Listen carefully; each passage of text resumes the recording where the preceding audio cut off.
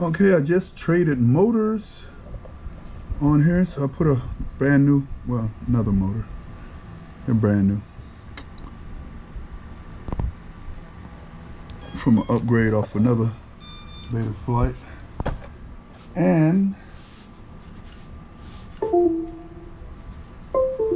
this motor is doing the same thing. This is three.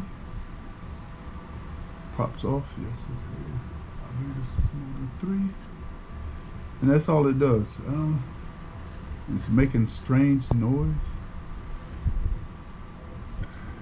Uh, motor two, nothing from that. Motor one, good.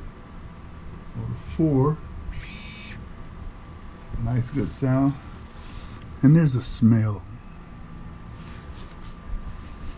It's not like a burnt motor smell, more like a rubber smell. But this is a different motor here from the other one, but yet it's doing the same same thing.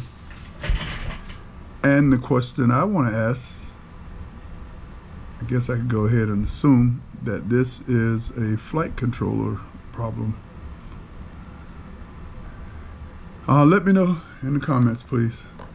Thank you.